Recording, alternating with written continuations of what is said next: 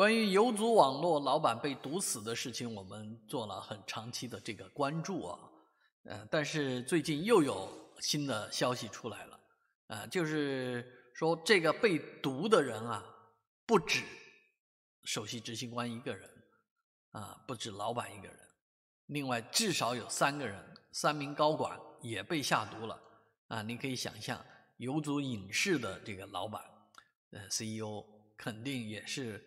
啊，被许瑶下毒的。许瑶这个人呢，这个确实，啊，看着真的多正派啊，是吧？法律人，啊，你难得想象他的内心是那样的肮脏，那样的狭隘。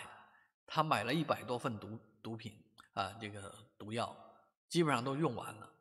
所以你你想象一下，啊，有多少人啊被被他所害啊？你相信？